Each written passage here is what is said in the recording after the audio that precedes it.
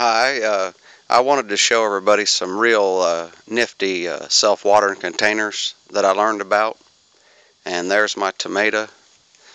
There's the container and uh, what's around it. I just took some scrap lumber, ripped it down, and then screwed it. It's oak uh, cabinet lumber, and uh, which made it look really nice. Um, here is one that it's one of my tomatoes. It's the end of the year, and I'm going to show y'all how good they do. Um, this is the tube that goes down through to the water chamber that's down here.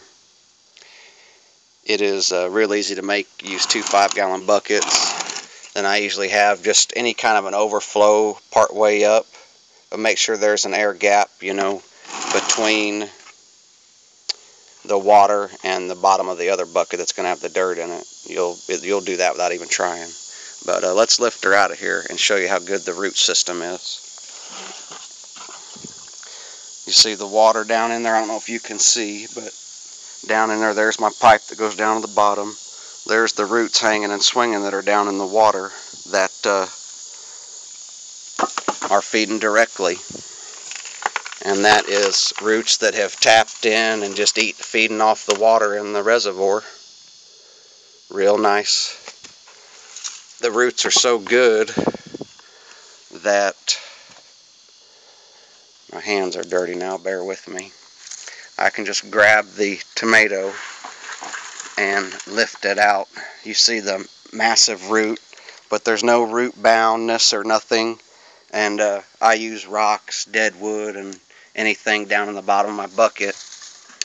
There's an old bowl in this one, but it works good. And uh, I've had plenty of tomatoes all year long. Let's shake her out, see actually how extensive this root system is. Oh, that's plenty of roots. Feeding good. I got a lot of good tomatoes off of it.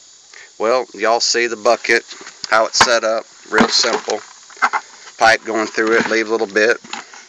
Old wood, or I used an old uh, Tupperware bucket here, put a hole, which that seemed to work good. That might keep it from root bounding and then slide it down in there and then it holds you know about a gallon of water and it worked really good.